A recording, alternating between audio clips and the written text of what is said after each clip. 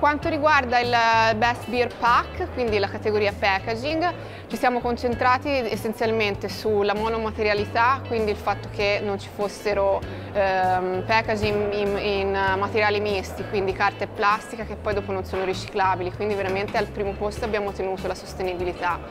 Poi chiaramente l'eco design inteso anche come possibilità appunto di eh, scomporre il packaging, riciclarlo eccetera eccetera e ovviamente la funzionalità, quindi il pack non deve essere solo bello ma anche eh, proteggere l'oggetto, permettere di trasportarlo agevolmente e ovviamente la, mm, la, qualità intesa come ricchezza di design, di nobilitazioni, di tecniche di stampa e di progettazione proprio anche grafica.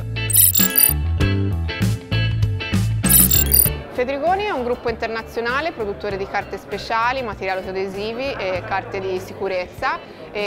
produttore di carte dal 1888, quindi una lunghissima tradizione. E la nostra missione come azienda è quella di elevare la creatività, Elevating Creativity, quindi supportare mh, designer, creativi, brand, stampatori, cartotecnici nella realizzazione di progetti bellissimi in, in carta e, e, e con le nostre etichette. Chiaramente avendo questa missione, supportare i concorsi che premiano la creatività e il design per noi è assolutamente fondamentale. Per questo anche quest'anno siamo qui ad Hospitality, ehm, da diversi anni per le etichette e per il secondo anno invece anche per il packaging perché crediamo che comunque valorizzare, nobilitare eh, la bottiglia, quindi il packaging anche secondario, eh, sia un elemento per veicolare valore, creare valore percepito nei confronti di un prodotto.